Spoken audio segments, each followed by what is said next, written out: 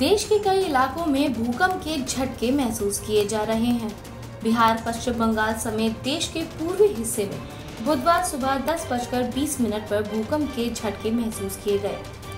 इस भूकंप की तीव्रता पाँच दशमलव पाँच थी, जिसकी गहराई 13 किलोमीटर मापी गई। भूकंप का केंद्र आसाम का कोकराझार बताया गया है।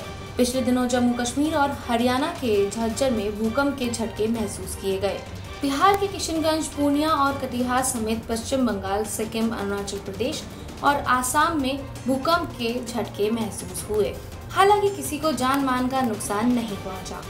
आपको बता दें कि रविवार को उत्तर प्रदेश के मेरठ और दिल्ली एनसीआर में भूकंप के झटके महसूस किए गए।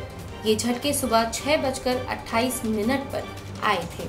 अमेरिका के जियोलॉजिकल सर्वे ने भी इसकी पुष्टि की थी।